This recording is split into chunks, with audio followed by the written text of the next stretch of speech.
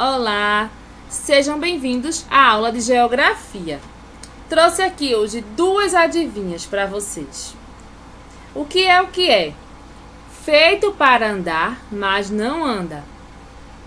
A rua. E a outra? O que é o que é? Está sempre no meio da rua e nunca sai. A letra U. Entendeu? Ó, o nosso assunto de hoje será sobre a rua, os arredores da nossa escola, certo? O livro de vocês, vocês vão abrir na página 16. Essa página aqui. Durante o estudo deste capítulo, você vai identificar as ruas e os elementos que fazem parte do trajeto entre a sua moradia até a escola onde você estuda.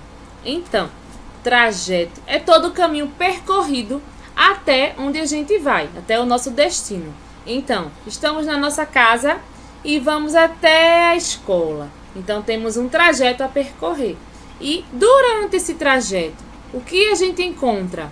Padaria, igreja, praças, escolas, e outras coisas, certo? Passando para a próxima página.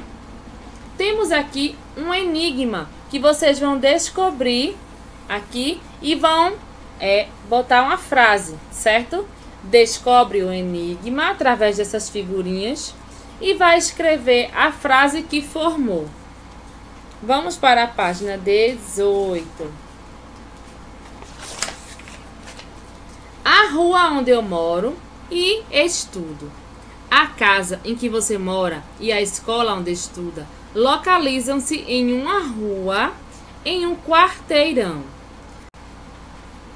Quarteirão é uma quadra, geralmente formadas por casas, certo? Em formato de um quadrado grande, tá? Então é chamado de quarteirão. E tem várias ruas.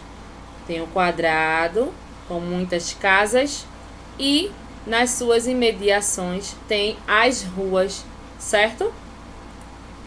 Na fotografia, observe a quadra onde está localizada uma escola. Então, olha aqui o exemplo de uma quadra do quarteirão, tá bom? Agora, vocês vão responder a atividade da página 19. Aqui, ó. A tia vai explicar. Pinte as frases de acordo com a legenda. Endereço vocês vão pintar de verde. O que é rua, vocês vão pintar de vermelho. E o que é quadra, vão pintar de azul. Certo? Vocês vão ler e descobrir e vai pintar corretamente.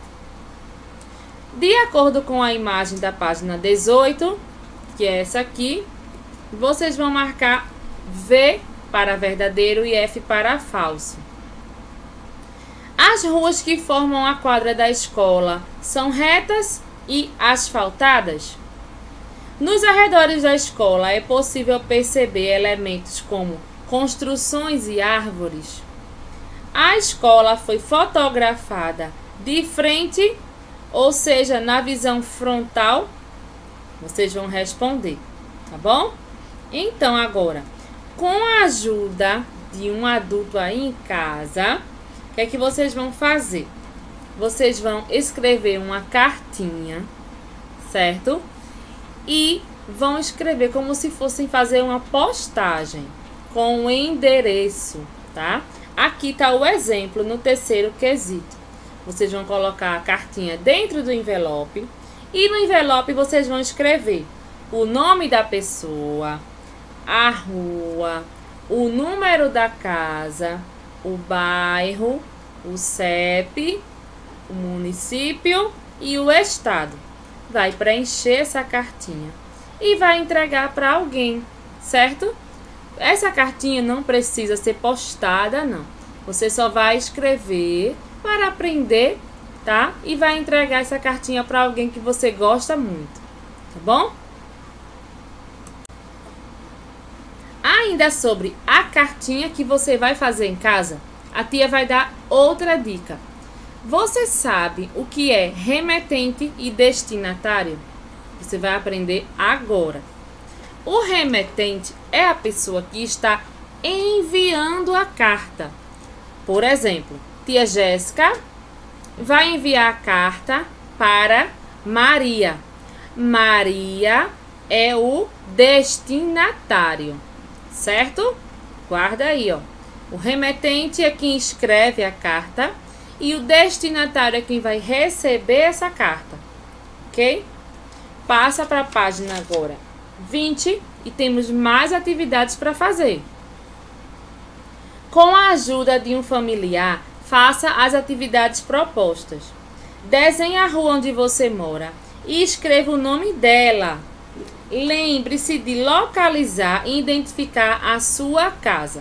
Então, nesse espaço aqui, vocês vão desenhar a rua. Se tem árvore, desenha. Se tem padaria, desenha. Se tem uma igreja, desenha. Não esqueça de desenhar a sua casa e identificar. Aqui é a casa da tia Jéssica. Se eu estiver fazendo desenho, né?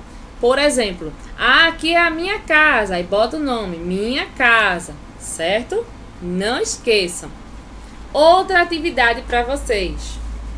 No material de apoio, que eu sei que vocês amam material de apoio, vocês vão pegar aqui, ó, essa página e vão preencher estas perguntinhas, tá?